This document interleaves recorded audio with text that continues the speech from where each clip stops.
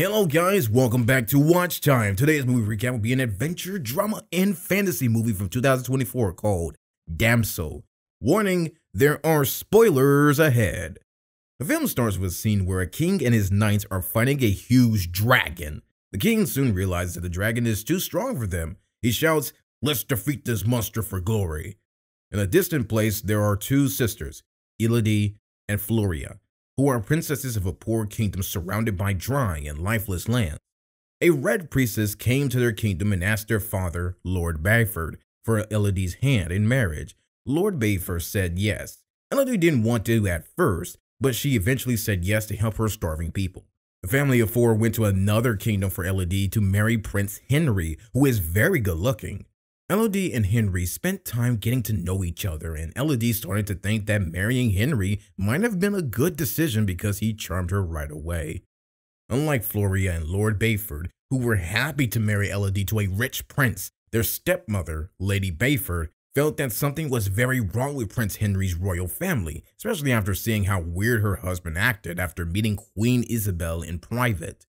She tried to tell Elodie, but the wedding happened anyway. After the wedding, the newlyweds went to the top of a mountain for an old ritual that Henry said was to honor their ancestors. At the top, Elodie saw Queen Isabel dressed as a red priestess. Queen Isabel gave Elodie a coin and they all went to the altar. Queen Isabel told the story of how their kingdom started when their ancestors found a beast on the island that was killing people and destroying the village. The king called his army to fight back for his people, but it ended badly.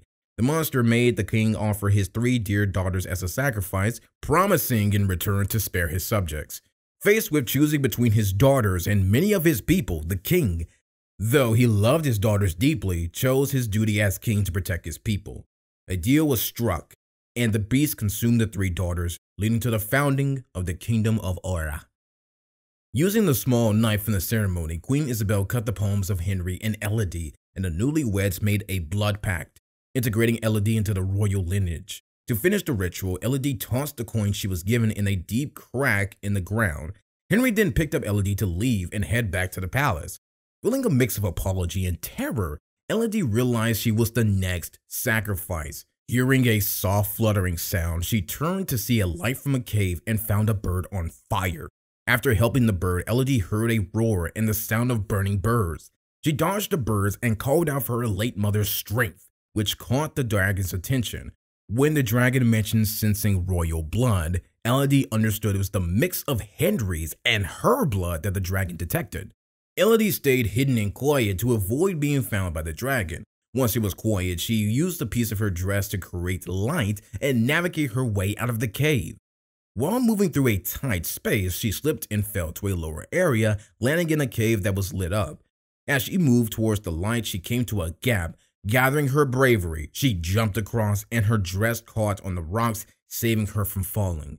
She used a sharp iron from a corset to climb up. The light came from glowworms and Elodie took some to use as a light source. When she found a water source, she tried to drink, but it tasted bad, so she tried catching water droplets from above instead. Suddenly, the ice melted and she dodged the dragon's fire breath.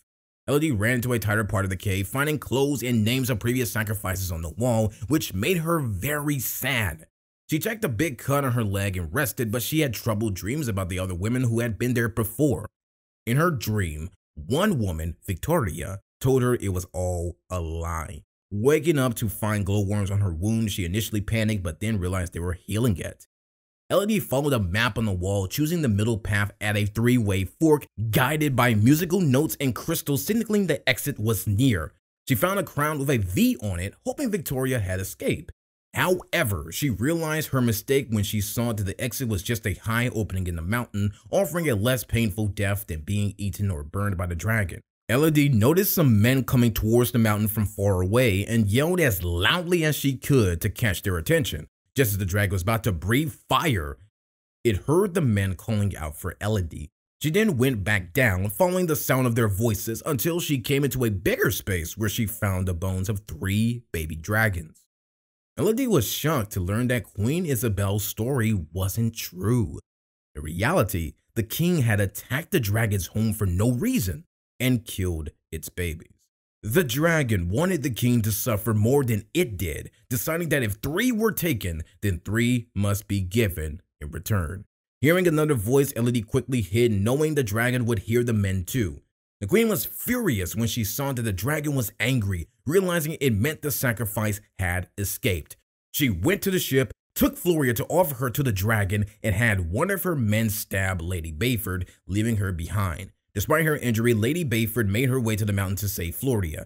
There, she met Elodie, who told her stepmother to stay put while she went to rescue Floria herself.